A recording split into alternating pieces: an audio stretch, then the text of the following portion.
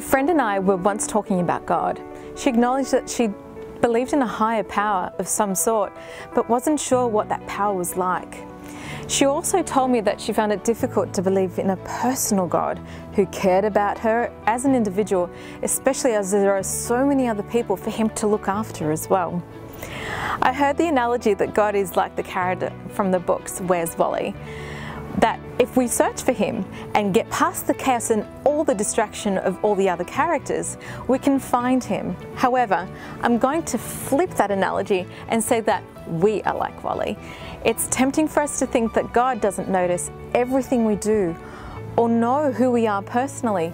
However, there is one person who always knows where Wally is, and that person is the artist or the creator who put him where he is.